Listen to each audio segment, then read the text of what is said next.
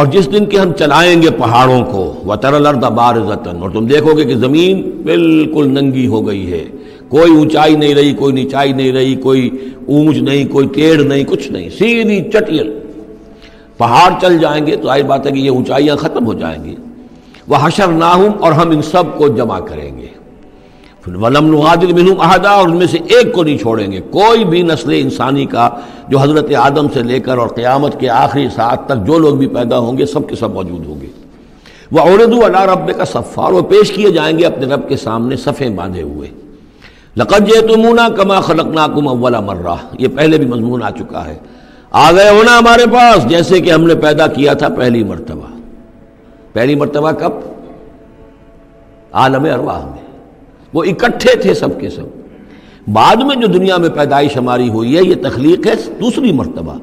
ये ज़मीनी तख्लीक के साथ रूह को जोड़ कर जो है, ये हमारा दर हकीकत, ये तख्लीक सानी है। तख्लीक अव्वल जो है, वो तो हमारी अरवाह की शक्ल में हुई, और वही शक्ल में थी कि आदम से लेकर अगर कुल दुनिया की ज़िंदगी पंद्रह हज़ार बरस हो, फ़र्ज़ कीजिए, आदम के बाद से लेकर क़यामत तक तो पंद्रह हज़ार बरस तक जितने इंसान नस्ल आदम में पैदा हुए बैक वक्त वो मौजूद थे उस वक्त भी, और बैक वक्त मौजूद होंगे क़यामत के मैदान में भी। लकब जे तो मुना आ गए हो हमारे पास, कमा खलक नाकुम अव्वला मर्रा, जैसे कि हमने पैदा किया था तुम्हें पहली बार।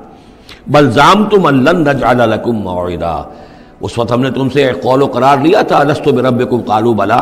लेकिन इस दुनिया की ज़िंदगी में तुम्हें यह गुमान हो गया था कि तुम्हारे लिए हम कोई वक्त, वादे का वक्त मुकर नहीं करेंगे, यानी मुलाकात नहीं होगी। तुम भूल गए थे इस मुलाकात को। जी चुरा रहे थे हमसे मिलने से। अल्लादीन अर्जुना लिकाना, जो हमसे मुलाकात की उम्मीदवार ही नहीं है। इस ख्याली को जहनों से दूर रखते थे कि कभी अल्लाह के हजूर में हाजिरी है। ववोद अलकिताब और आमाल नामा लाकर रख दिया जाएगा, रख दिया जाएगा। वजया।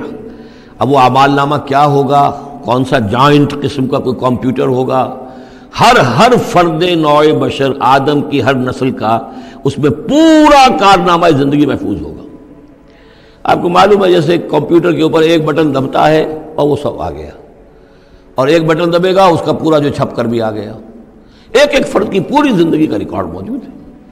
जैसा कि मैंने कई बार तक अर्ज़ किया, इन चीज़ों का मानना अब जितना आसान हो गया है, आज से सौ बरस पहले मानना इतना आसान नहीं था। किस कदर गहरे ईमान बिलगैब की ज़रूरत थी। आज तो ये चीज़ें हमारे हिसाब किताब में आ रही हैं। छोटे छोटे से बटन की तरह का तो टेप रिकॉर्डर होता है कि आपसे मिलने के लिए कोई आया है, आपको पता ही नहीं। और उसका जो बटन है, जो कोर्ट का, आप बटन समझ रहे वो टेप रिकॉर्डर है। वो आपके साथ जो गुफ्तु हो रही रिकॉर्ड हो रही है, आपको पता ही नहीं। तो सूरत हाल ये हो चुकी है ज़रा लगाइए कहीं पर और आपको मालूम होगा कि आपकी सारी गुफ्तु सुन लीजिए आप। तो ये सारी रिकॉर्डिंग के हर चीज़ महफूज हो रही है। आमाल नामे में हर शय मौजूद है। वह वोद किताब और वो लाकर आमाल नामा रख दिया जाएगा। कहीं से वो कंप्यूटर शायद किस जगह पर है और वहाँ से वो इंस्टॉल जो है, वहाँ से लाकर मैदान हश्र में टिकाया जाएगा। वबोद किताब फ़तर मुजरमीन मुशफ़ीन माफ़ी तुम देखोगे अब मुजरिमों को डर रहे होंगे, काँप रहे होंगे कि इसमें क्या कुछ है। वह यकूलून और वो कहते होंगे, या वैलतना, हाय हमारी शामत, माल हादल किताब, ये कैसा अमाल नामा है? ला युगादर सगीरतम वला कबीरतन। इसने तो किसी छोटी सी, छोटी बात को नहीं छोड़ा, न किसी बड़ी बात को छोड़ा, इल्ला मगर ये कि उसको महफूज रखा हुआ है। इसने तो माइन्यूटस डिटेल्स को भी ओमिट नहीं किया है। कैसा ही अमाल नामा माल हादल किताब।